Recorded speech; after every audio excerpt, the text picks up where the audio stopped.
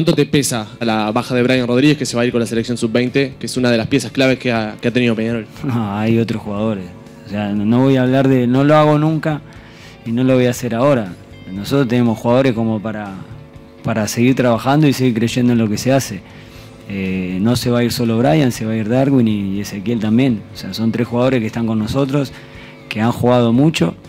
Y bueno, es una lástima que tengamos que perder eh, tres jugadores para la, parte más linda del campeonato, que es lo que se viene. Eso sí, es una lástima lo, que pasa eh, en, nosotros. Yo no voy a hablar de los demás, pero para nosotros es, es una lástima realmente que tres jugadores que están jugando en primera división, que iban a jugar un clásico histórico, eh, no lo puedan hacer.